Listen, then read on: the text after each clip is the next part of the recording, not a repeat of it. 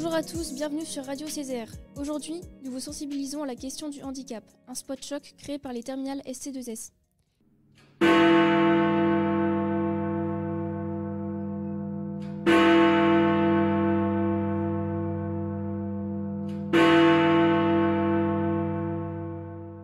C'est dans ta tête.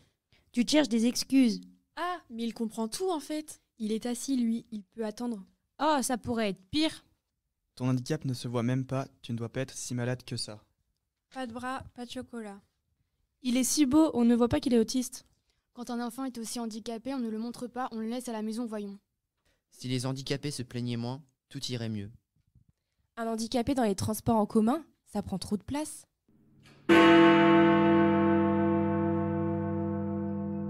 Voilà ce que l'on peut entendre régulièrement dans la vie quotidienne. Ça vous choque? Nous, oui. Alors réagissez lorsque vous entendez ce type de phrase.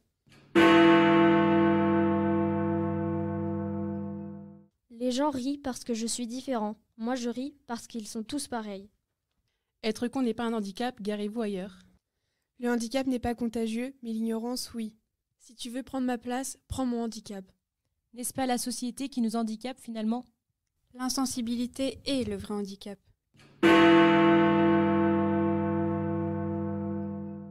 Eh oui, un peu d'ouverture d'esprit n'a jamais fait de mal à personne. Mettez-vous à la place des autres et réfléchissez un peu avant de parler ou d'agir. Le handicap n'est qu'une question de perception. Les cinq sens des handicapés sont touchés, mais c'est un sixième qui les délivre, l'envie de vivre. Voyons les personnes avant le handicap. C'est dans la différence que se cultive l'intelligence. La différence est une richesse, la tolérance une sagesse. Il existe plus de 6 millions de personnes en France qui souffrent de handicaps physiques ou mentaux. La plupart sont des handicaps invisibles que l'on a tendance à oublier. Pour les autres handicaps, ce que l'on voit, les discriminations sont légion. Alors changeons les choses et agissons. C'était les terminales ST2S sur Radio Césaire.